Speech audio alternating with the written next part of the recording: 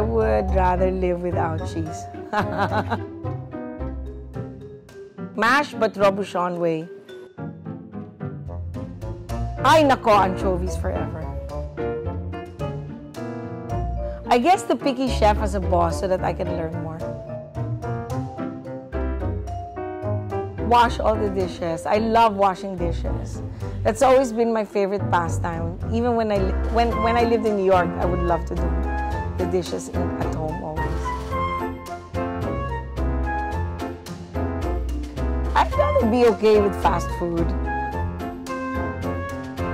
For the Pope or the Queen?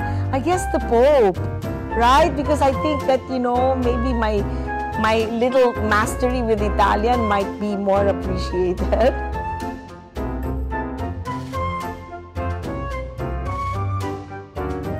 Something Anthony Bourdain recommended.